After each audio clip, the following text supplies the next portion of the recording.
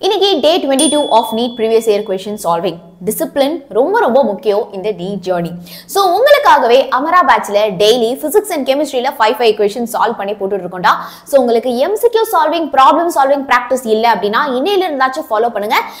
இந்த வீடியோ கீழே நான் வந்து லிங்க் பண்ணிருக்கேன். நம்ம சேனலை சப்ஸ்கிரைப் பண்ணிடுங்க. அண்ட் இந்த சீரிஸ் ரெகுலராக ஃபாலோ பண்ணுறவங்க லெட் மீ நோ இந்த கமெண்ட் செக்ஷன் ஸோ இப்போ NEET twenty twenty four re எக்ஸாமினேஷனில் கேட்ட ஒரு கொஷின் ஓகே ஸோ இதை பாருங்களேன். The correct decreasing order of the atomic ரேடியை இதில் டிக்ரீசிங் கேட்குறாங்களா இன்க்ரீசிங் கேட்குறாங்களா அப்படிங்கிறது ரொம்ப ரொம்ப முக்கியம்.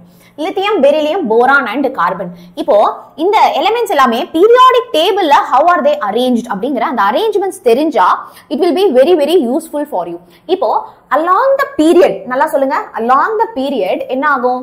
அட்டாமிக் ரேடியஸ் வந்து நமக்கு டிக்ரீஸ் ஆகும். ஓகே அட்டாமிக் ரேடியஸ் வந்து நமக்கு it will decrease down the group பார்த்தீங்க அப்படின்னா நம்மளுடைய அட்டாமிக் ரேடியஸ் வந்து இன்க்ரீஸ் ஆகும். டவுன் த குரூப் வந்து அட்டாமிக் ரேடியஸ் வந்து நமக்கு இன்க்ரீஸ் ஆகும்.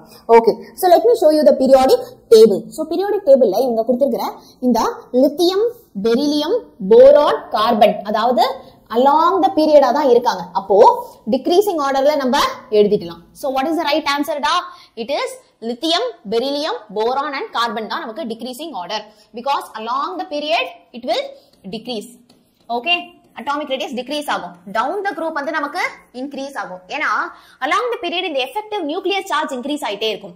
ஸோ இந்த எஃபெக்டிவ் நியூக்ளியர் சார்ஜ் இன்க்ரீஸ் ஆகிறப்போ ரேடியஸ் வந்து நமக்கு டிக்ரீஸ் தான் ஆகும். ஓகே சூப்பர் ஈஸியான ஒரு கொஸ்டின் தான்.